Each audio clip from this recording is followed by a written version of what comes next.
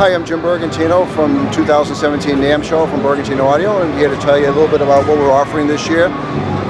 Actually not necessarily new, but we're reintroducing our NV412 this time with a tweeter. It's the T version. It's the uh, vintage part of the vintage series and um, it's a sealed cabinet designed for the old school sound.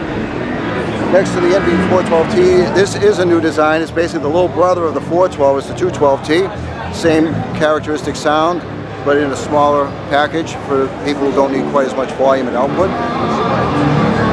The B-Amp, which was introduced back in 2015, is still on the scene and has several firmware upgrades since then. We've added a lot of new features.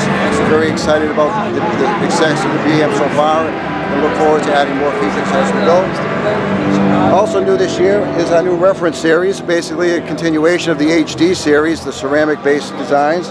These have a new high-quality compression driver tweeter with a constant directivity horn. They give it a nice open and transparent top end, adds a lot more space around the note.